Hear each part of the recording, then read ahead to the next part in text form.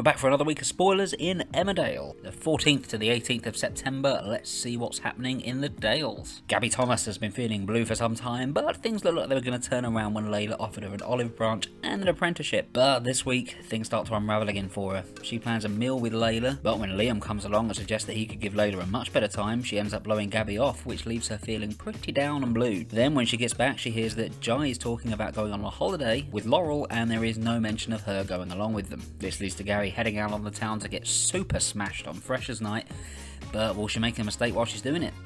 Poor old Dan Spencer's money worries continue this week, and Amelia gets very concerned about her dad, particularly because he's unable to move, and that leads to him wetting himself. She has to get him a change of trousers, and she begins to think that their problems will never end. As does Dan. He may well be right because Amelia has been skipping school, and Dan's due to get a fine for that, and with his money situation so precarious as it is, that's the last thing that he needs. When Sarah suggests that they go out and take Al's credit card for a bit of a shopping spree, because who doesn't love retail therapy? Amelia decides it would be best that she didn't. But when Sarah leaves, she leaves the credit card behind and Amelia picks it up and pockets it. Is this going to be another problem for Dan? It would seem so. Guess who's back? Back again. Kirin's back. He's got no friends. Kirin is back in Emmerdale but with a new face and he's looking set to cause more problems for Charity as she's looking to adopt. And the main thing that's on Kirin's mind is getting hold of some cash. He asks Priya for some money, and she tells him that she'll call the police if she sees him again. Then he decides to go after Charity despite hearing about Vanessa's diagnosis, and warns her that unless she does what he asks and hands over some hefty cash, he's going to make sure that her adoption plans are ruined. Charity doesn't know what to do, and she begins to think that she may have to pay him off. But then Tracy appears with the police behind her. Is this the end of the road for New Face Kirin? And that murderous secret that's been hanging over Harriet and Dawn continues to hang over them this week. Harriet is struggling with a breakup with Will. He now knows everything that happened with the murder, and it would be fair to say that he's none too pleased. As people start to wonder what caused their relationship to break up, there's also the small matter of Billy and Dawn.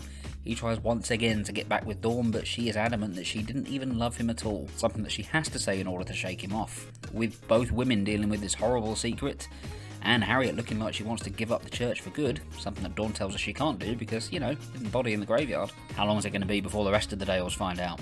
Poor old Matty Barton, he's not taken being rejected by Amy that well, and he does the typical thing of being like, hey, you know, I didn't want her in the first place, it's cool, she's too needy and stuff, I'm fine with it. But unfortunately for him, Amy's heard everything. Looks like there's another wrinkle in this situation. And finally, and we always like to end on the big storylines here in Emmerdale, mice have invaded the village. Lots of mice, and there's so many mice in fact that the clothes swap event can't go on where it was supposed to. So they're going to have to move it. But with a change of location, will said clothes swap event go well? So there spoilers for Emmerdale for next week. Let us know what you're looking forward to. Let us know what you're not in the comments down below. Do hit like and subscribe if you enjoyed this video. And do check out our spoilers as well for The Other Soaps, Neighbours, EastEnders and Coronation Street. Sorry we don't cover the ages. Thank you for watching and see you next time.